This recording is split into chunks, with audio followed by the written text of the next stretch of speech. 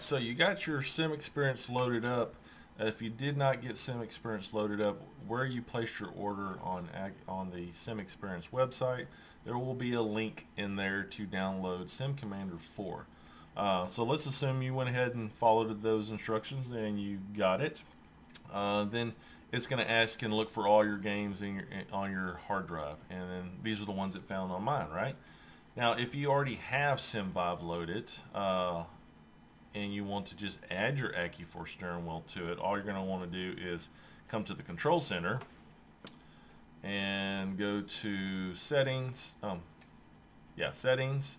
Let me blow up this up just in case you're on like your cell phone or something. Control center, settings, sim device manager, and then there you see AccuForce steering system. You'll just click that on and uh, it'll you'll answer yes to the both questions that come up, right? And that's it. Uh, then it's added, and you will notice if you go back out and go to where your regular settings are, say ACC in this case, and you will see the AccuForce steering wheel there and all the settings underneath it, right? Usually comes in as default settings and stuff, so uh, that's all you do. So pretty easy. Now let's dive into what settings do what, right? Okay, so this is going to probably be about 30 minute video here. I can literally spend days uh, talking about this stuff uh, because it is is very uh, in depth if you want it to be or simple if you don't. All right. Uh, but I don't know any sim racer out there that does not modify force feedback effects, whether it's in your game or it's it's on your wheel itself. So yeah, buckle up. There, everybody does it, even if they say they don't want to. uh, but let's go ahead and go back into the settings, sim steering, uh, I'm sorry, AccuForce uh, steering system. I'm going to blow this up, and I'm just going to give you a quick rundown of this here. Uh, you got your general tab and your pedals pad, uh, pedals pad, your pedals tab. Uh, you use the pedals tab as if you have your pedals directly plugged into the AccuForce uh, box itself there, right? Um, Put this magnifier off to the side here. This is what you're going to save to your actual wheelbase itself. Uh, let me re-say say this again. This is what's saved to your wheelbase itself.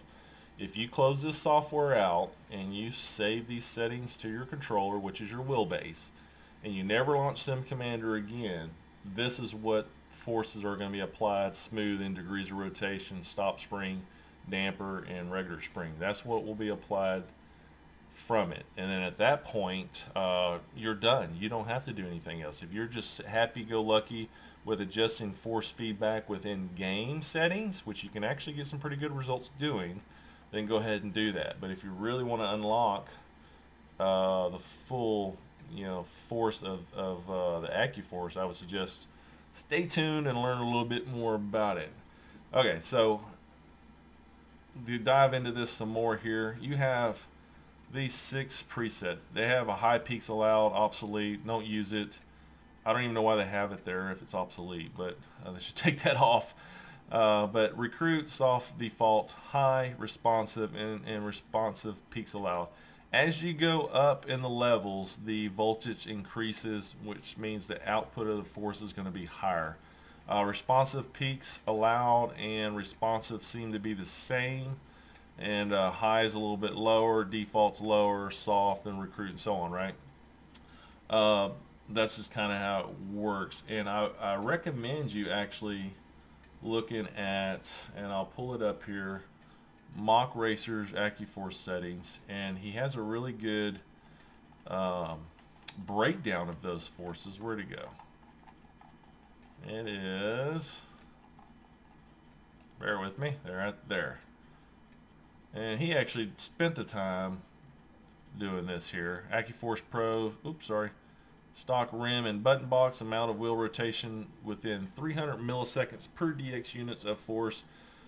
That's the firmware and tested in 2015, so quite a ways back, right? Uh, so anyway, you can see here, recruit is the blue line. You know, it's very soft. Uh, doesn't do a lot. Default, he didn't have soft in here. He just has recruit. So you can tell they've actually added to it uh, since this point. But uh, carry on. Default is default. Some people say default gives you the most clarity uh, of feedback.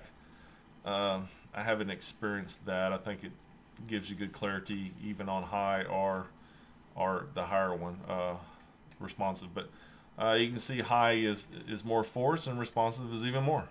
So this is amount of wheel rotation in degrees from center to left center within step time to 300 milliseconds.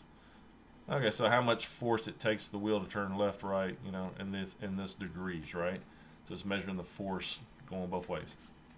Anyway, that gives you some indication uh, what it is, and uh, pretty helpful as far as that goes. Um, and that's the AccuForce one there. But let's go ahead and continue on. Now, I generally run it at high or response. Actually, for the wheelbase itself, I just keep it on responsive. Uh, you will notice this halt feedback when SimXperience wheel button box is removed. What that means is if you check this on and you remove your your stock AccuForce wheel and unplug the phone cable from your button box from it, right? Uh, it's going to halt all feedback to your wheelbase, which is good. Nothing wrong with that. However, if you're like me and you use modded wheels, like uh, I use my sim racing machines mod for my Fanatec McLaren wheel, you will soon discover that even though the wheel works, you're not getting any feedback and you're going to be wondering why. And uh, so I finally remembered I had this checked on in the beginning, so I had to go back and click it back off. So I suggest you just leave it off and uh, and roll with it that way. But intensity, leave it up. Uh, smoothing, smoothing is the smooth smoothing of the wheel. I just run default and forget about it. Degrees of rotation, I generally run 900 degrees. You can go 1080, whatever you want, right? It goes up to 4,500 degrees. So that's uh, pretty dang high. I guess if you're doing, uh, well, you know, if you have truck simulator or something like that, you might want to turn this up more, you know, to 1080 uh, degrees. So I, I can understand that if you're doing Euro truck or something like that. Uh, stop spring. The stop spring is just the hardness of the spring. So when you turn your your wheel left or right, when you hit the said degrees of rotation, in this case 900 degrees, it's going to hit a stop on the wheel, right? And it's going to want to bounce your rim backwards. Uh, follow my mouse drag here, okay? so uh, it's going to bounce your wheel backwards. Well, how hard of a stop do you want? Do you want it to hit like it's hitting a, a literally a, a, brick wall? Then you want to turn this up more. If you want it to have a little bit of a bounce back, a little bit of a softer hit, uh, then you can uh, leave it less. I leave it at 6.3 and forget about it. Seems to be adequate and a good uh, good setting. It's a default setting and it, and it works good. Now your stop damper, I leave that off, but that's basically how soft do you want it after you hit the stop, stop spring. So when you hit the 900 degrees and it stops and you want to push past that, you want to push past that stop, uh, this gives you the softness of, of how much resistance is past that. Uh, ho hopefully that makes sense, but uh, that's what it does. Uh, really, at 6.3 and higher, this is you don't even need it. But if you're running, say, like 2% and it, you can hit the stop and easily go past it, this is how, how much uh, resistance you're going to get past the stop. They said stop. All right? Okay. So that's that explained. Let me go back to 6.3. Now let's move on down. You got the spring. That's just your, your centering spring, your friction, your damper, and your inertia. You, all wheels tend to have a little bit of this built in, and I leave it at default and don't have any problem with it like that. Uh, you, you basically, you initially generally want to have the least amount as possible. Uh, but it seems to be beneficial to at least leave some on uh, under testing with it without the Sim Commander software. So I just leave it there. Uh, but you can adjust this uh, accordingly as if you could in the Sim Commander software uh, to reduce your oscillations. Uh, this is where you're going to want to do that uh, if you're not using Sim Commander software. So, and that's something you're going to have to tinker with uh, to get it. So friction is basically just the, how much friction you got in the wheel you know, the damper is the, the dampening of the wheel itself. The inertia is once the wheel's in motion, how fast it goes in that direction, right? So um, that's pretty much that, what that covers. All right, so let's say you got all that done. You're happy with it. Well, you don't know you're happy with it yet because you haven't tested it out, but at least you got something to start with. You want to hit Save Settings to Controller, and then it saves it to your actual wheelbase itself, right? Uh, be sure to slap your rim on there and while you're here, it hits uh, set wheel center.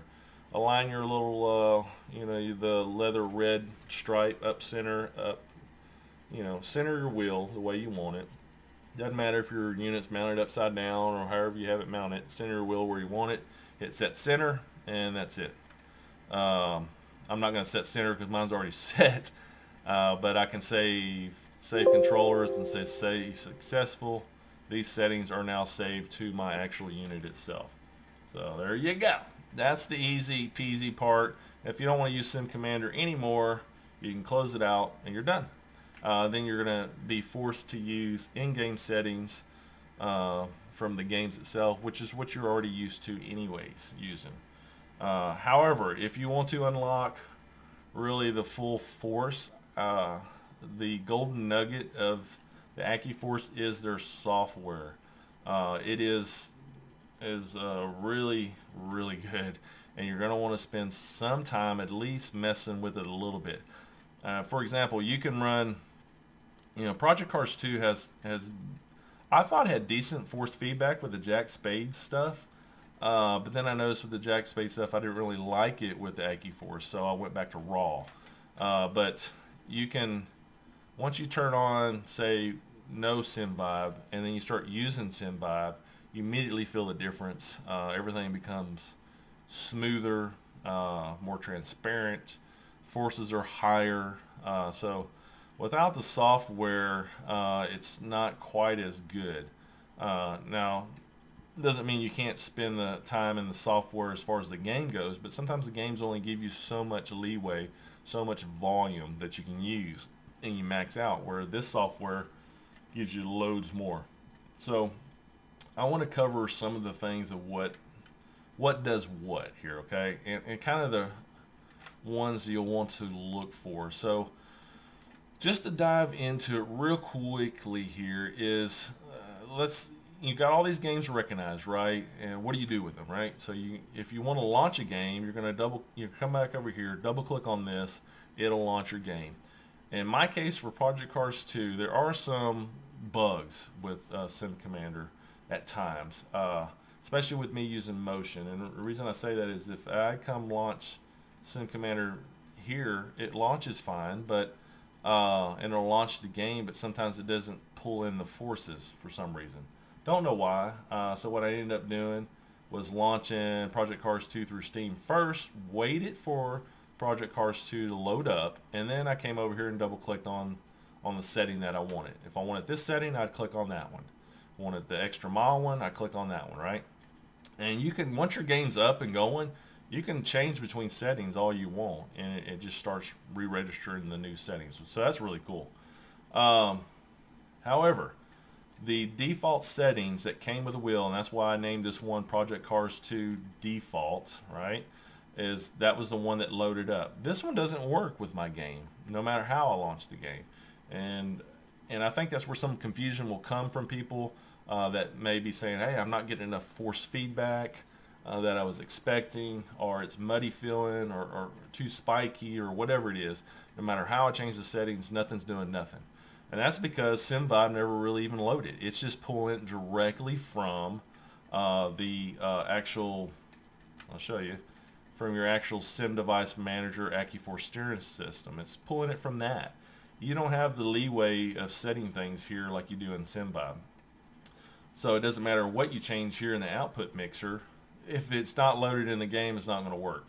Uh, you're not going to get those effects rather, right? So uh, make sure you do it. A good tattletale that I've learned to do is, is you know, you double click on the one you want, come over here to your engine RPM, if it's off, turn it on, max out to 50%, and if you feel your wheel shaking from the engine RPM at setting still, you know you're loaded from SimVibe. That's my that's my go-to.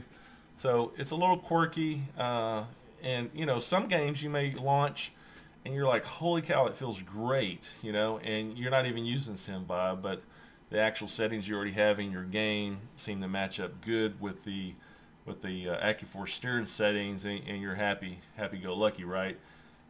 Not knowing that it could get even better. So, uh, so anyway, yeah, that's the go-to. That's what I suggest you do. Leave it on. Whether you want to use it later or not, uh, then turn it off. But let's get into some of the settings here and I want to explain some of them uh, as well. Oh, and real quick, if you have something you like, uh, let's say this AccuForce steering here, and it's, I called it V2, right? But I could easily name it uh, GT3 setup because that's really what it is. This one's set up for me for GT3 cars. Oh, darn it. GT3, right? Uh, you don't have to, you just click out of it, click on something else, it doesn't matter it saves automatically. There's no save button for the software. Uh, if I like this one, but I want to make it for road cars, but I like all my output mixers to be for the AccuForce. Notice I don't have uh, the, the, the shifter and all that stuff set up because I don't use this software for that right now. I'm using my next level racing, racing uh, motion and that's handling my tactile there. But uh, but I, I want to have the same one. All I do is hit duplicate and here it is. You're automatically put on the AccuForce steering V2 GT3 dupe. uh, that's the duplicated model. And you keep all your same settings as what you had, but now I'm doing road cars and I don't want it to be that strong, so I want the wheel weight to be a lot less. And then boom, that's what it is. And I come over here, I see, ah, I got this duplicated one. I'll double click on that one, launch it when I'm already in the game and switch. So that's how you can easily switch to profiles while you're in the game. Alright, so in, uh, I'm going to delete that one because I don't want it. If you want to delete it, that's all you do. Hit delete and it goes away. Make sure you don't delete some of these. Now let's do a real quick backup uh, before we go too much further in there. Oops. Let's say you have one just perfect and you you you don't want it to crash or you don't want something to be lost or accidentally deleted yourself, go to export right here. Click on the one you want, go to export, export to uh, install and drive file or share it on the owner's club. Uh, you want to have your own copy first, so export it. Pick a directory. I have AccuForce downloads, and these are what the files look like. Exported it over. This is very handy because I spent some time uh, doing some adjustments, and I was trying to work out some software bug I was having and so I saved off all my stuff uh, really quickly before I just reloaded uh, Sim Commander from the start. And really what I was chasing down, uh, just to let you know, was uh, why uh, when the default settings come in, like for Project Cars 2 or any of these, why it wasn't loading into the game. Still haven't figured that out, but it's not. Uh, so what I have to do is, and you may have to experience this yourself, so before I get into the settings more, let me explain it. Uh, is I will go to new, I'll say from scratch, and I will name it whatever. We'll just call it PCARS 2 right here. Uh, test, because this is my test, right? I'll come down here and I'll pick the game. Maybe blow this up here. I keep forgetting to blow it up. If you're on PC, you see in this one-to-one, -one, but on, on, your phone, you might not, so I'll blow it up for you. Uh, come down to game, whatever game I want, which is Project Cars 2, and I'll just leave it universal. If I want to sh show this one as my favorite, then you'll click that box. If I want to enable this in-game on screen display, uh, you'll click that box. You'll want that one clicked on as if you come to the bottom of the screen, it'll be a, a red line, and you'll be able to make adjustments to your output mixer while you're in game instead of um, alt tabbing out to this. But anyway, that's it. Uh, and then I'll come over here to output mixer and I'll start adding the stuff I want. Like I don't want SimVibe chassis, I don't want seat, pedals, wheel, shifter, I don't want any of this stuff. I can just delete it, select that tab, delete, select that tab, delete, delete, and delete. But I just want AccuForce steering, so I'll go and add an effect and generally I just copy what I, I've seen on other other ones and I'll say game force feedback I'll say okay and then I can turn it on and then I can play with that I can enable that there boom just like that Uh, just keep on doing that. Add the ones you want. Engine RPM. Okay. Want that. It's, it comes in at zero. I say I want 50%. And he, here's your RPM levels and stuff that you can adjust. And just add the ones you want, right? So that's how you do that. And then when I'll go ahead and launch this PCAR2 test, the game recognizes it. So I don't know why it doesn't recognize the default, but it does recognize it when I do that. So there you have it. If you're having that issue that I had, uh, now you know. I'm going to delete this one. Nope. Delete. Okay, now let's jump into the software. Sorry about getting a little sidetracked, but these are important topics to cover, and I want to be thorough for y'all guys and gals out there. Uh, let's go to Project Cars 2 AccuForce, you know, the one I was just messing with, right? Uh, this is what everything does. If you want to auto tune, you can use the auto. Sorry about that. You can use the auto tune wizard uh, while you're in it and say auto tune create and um, it, you know I guess I can show you that real quick. Auto tune. Oops. Oh yeah, it's highlight. So synchronize, reset the defaults, which will reset everything to default in this particular profile. Synchronize the currently detected devices. I don't use that one, uh, but AutoTune, I have used the reset to defaults. Auto-tune creates the effects you wanted from a recorded lap. Go next, and AccuForce steering wheel, and then next, reset to defaults before applying auto-tune. Oh, all right, hold on, cancel. Oh, I don't want to mess that one up. Let's go and do a duplicate first. Alrighty, now I got a duplicate, and then I'm going to do this duplicate I'll mess with that one. Auto tune. Next. Uh, AccuForce steering. Reset the defaults before applying auto tune. You can leave it on. Doesn't matter. Um, and then pick your game. Project Cars 2. And since I'd already did some laps out there, it had some data in there for me. Uh, so let's just say I want uh, uh, this rally one that was 0.38 seconds. I'm going to pick my, uh, zoom up again for y'all. I'm going to pick my fastest lap, right? Uh, 38 seconds right there. And you see it highlighted. It's like a little bit grayer, right? It's hard to see this, but that's what it does. And come down here to intelligent peaks. And I don't know what this stuff does, but I'll leave it default because that's how they explain to do it as well. Uh, so you remove peaks that occur in less than this percentage of samples. That's to really uh, remove the peaks uh, under that percentage, right? So that makes sense. And then remove peaks that occur in less than this percentage of samples. So yeah, that, that makes sense. But you know, I'm not a uh, software engineer, so I leave it I leave it there.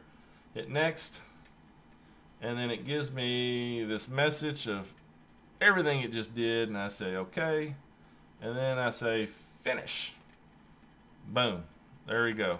Now you'll notice and over here I have an Audi blah blah blah Quattro even though my first it first said AccuForce GT3 duplicate right I stepped on that whole profile and changed it to this so be careful which one you're starting with uh, if you're starting with one that you don't want to step on duplicate it first and then you're going to step on it okay alright so that's one way right and that's going to pull telemetry from what you did out on track and that's going to give you a really quick and easy setup. I don't necessarily want all this, so I can turn it off.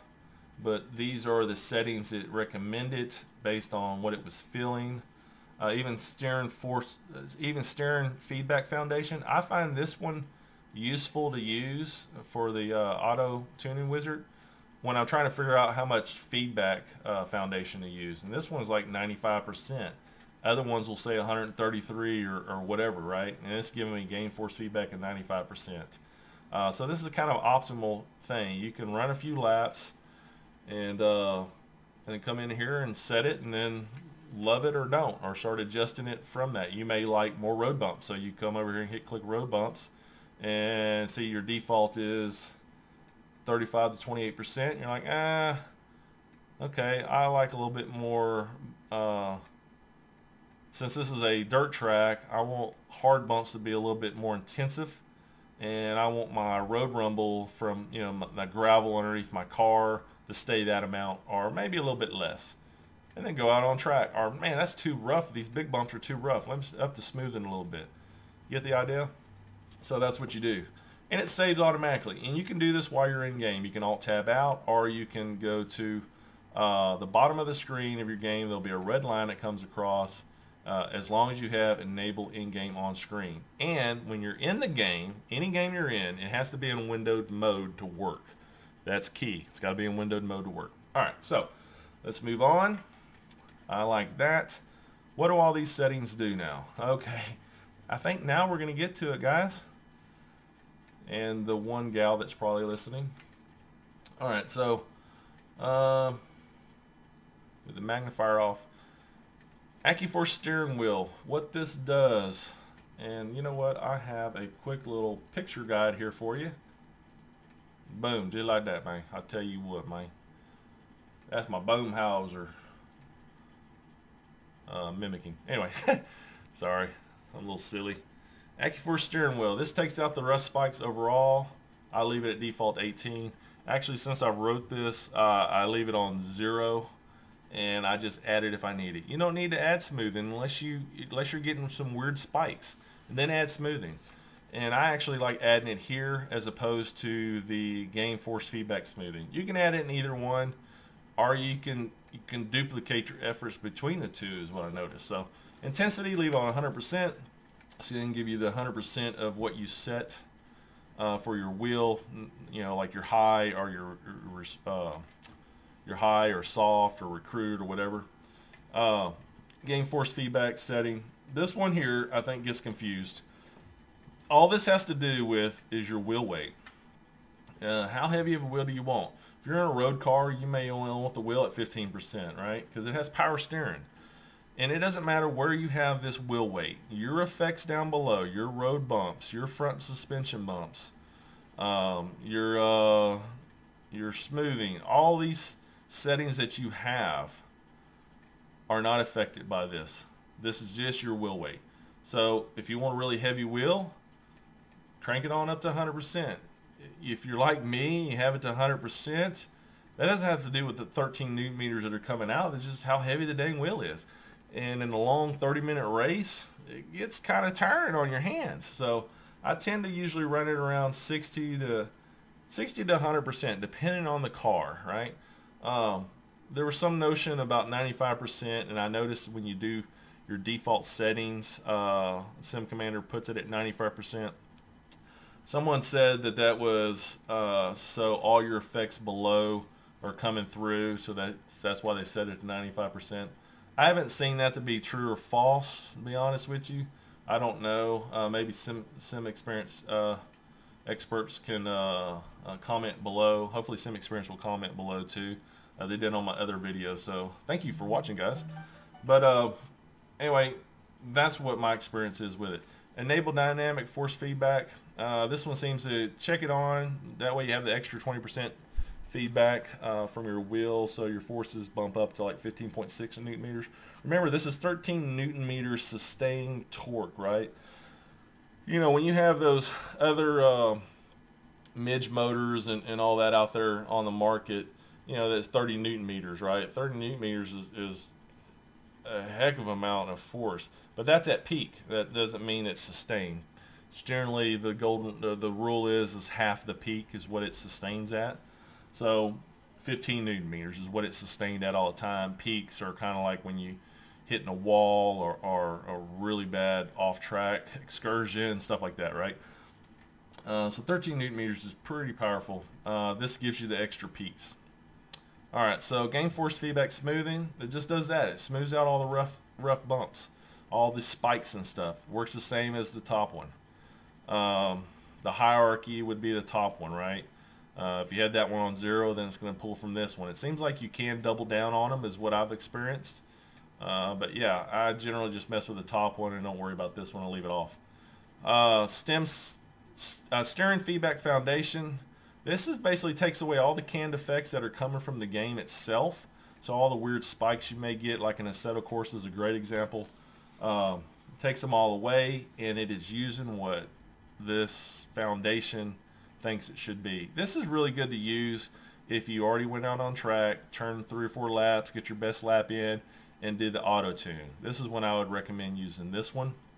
And then go ahead and turn your game force feedback off. You can use them, however, together, and I have noticed that has been kind of popular thing to do. Sorry about the jumping around there. Uh, popular thing to do is, is, a lot of people will go, um, where's my intensity here? Game force feedback intensity. You know, they'll have it around 65%, and then this one around 25%. And together they're equaling about 100% of, of feedback, right? Uh, and, and that's kind of what I've been seeing from the owners club people are doing. And and honestly, for Project Cars 2, that's what I got a, a really good feedback from. Project Cars 2 feedback in a direct drive um, stock setup, what you're really used to, sucks. But when you when you get to the direct drive, you have so many choices that you can make it not suck, right? Uh, some games you will find out that uh, um, they're not designed for these high-end direct drive wheels. They're designed for your mass market wheels out there uh, that uh, that need these weird rumbles and these extra spikes and stuff so you can feel something when you have a Logitech G29, right? Uh, but once you get into, say, uh, Fanatec V2.5, uh, you start turning down some of these canned effects, but you can't turn them all off. Where this setup with the direct drive, you can turn everything off, and then you just adjust everything the way you want it. You don't want road bumps, you don't have road bumps. So software is very powerful. All right, so uh, go on engine RPM. Like I said, this is my tattletale. I generally keep this around 40%. That's what I like. This is how much engine vibration you get. Uh, if you dive down in the menu, you can actually set your lope. Uh, so, you know, a C6 Corvette is going to be different than a Ferrari, so to speak. So uh, I'll show you that on the other tab, but this is explaining it real quickly for you. And let me just take y'all, y'all take a screenshot of this. One, two, three. Screenshot. Okay. All right. So, uh, and that way you can blow it up on your phone or whatever and look at it later for reference. All right. So uh, front suspension bumps, uh, bumps. I like this one. Uh, I tend to turn that one up to 100%. I know it says 400 here, but I was just playing around uh, just to see. But yeah, that's a good example. You know, crank one up all the way, turn everything else up, off rather, and see what it feels like on track. And then you'll you'll soon know front suspension bumps will yank your steering wheel out of your hand and throw you across the room, okay? So uh, at 400%. Uh, so you're going to want to turn it down to something uh, sensible. you can make this thing as unsensible as you want or sensible as you want. Uh, it just depends on uh, your level of pain. so anyway, road bumps, uh, that one's great. It's very, very close to front suspension bumps. And in fact, sometimes I just leave one off and just leave this one on. It just depends on the game. I like to experiment and tweak. Uh, hell, I do so much tweaking sometimes I hardly even drive. But uh, anyway, this one's uh, pretty good. Handles your road bumps and your road texture. So a lot of times I'll turn my road bumps portion off and turn up my road texture because I like a lot of feel in my uh, texture of the road. When you're going down the freeway in your car, you know, unless you're in a superfine Cadillac that absorbs all the bumps and you don't feel any of the uh, the the uh, concrete or the uh, asphalt underneath you, then you'll appreciate the texture being turned up.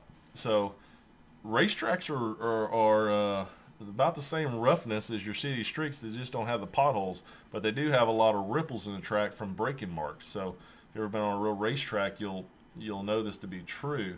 Uh, they're not exactly as smooth as you think unless you went to like a brand new track that just got done before had a bunch of uh, cars on it to mess it up basically. So, uh, but anyway, bumps is very handy. Dynamic oscillation. You're going to want to use this one. This is basically when you're setting at a standstill at the line, and I've experienced it, and I know you have too. Um, your front wheel, when you let go of your steering wheel, is starting to oscillate back and forth, left or right for whatever weird reason. Don't know why. Well, you can change that. For one, this intensity is how heavy the wheel drag is, so you feel like you're dragging a tire over, right?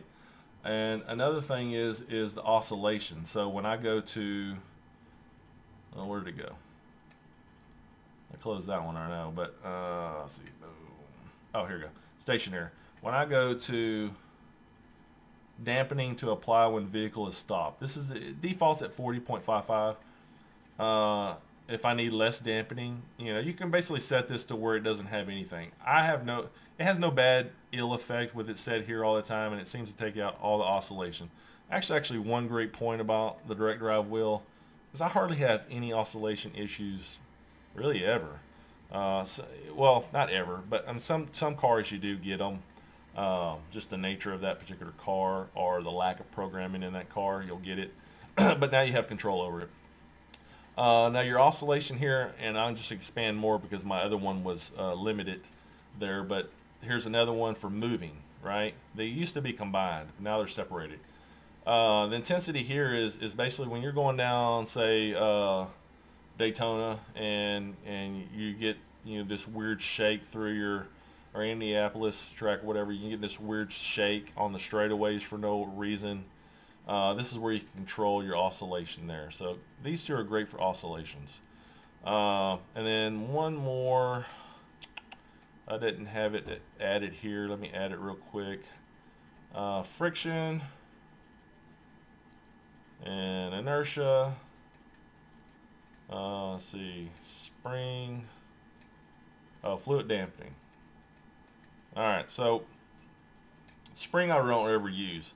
Um, because most games have enough centering spring that you don't need it. But if you run across a game that doesn't have hardly any, any centering spring, go ahead and add it, and you will notice 1% goes a long way, 2% even further. Uh, and you can just click on this dial. Okay, instead of trying to move this to a specific spot, you see it has notches. Just click past it, and it'll go one increment at a time, okay? Just a little trick for you. Uh, I wish you could just double click on these numbers and type in a number you want, but you don't. You can't. Uh, you'll even notice like uh, the game will come up with like a 133.3% and you can never get 133.3%, right? Uh, but the game came up with it. Anyway, uh, back to the dampening, uh, or the oscillations rather. These three are your friend for oscillations as well.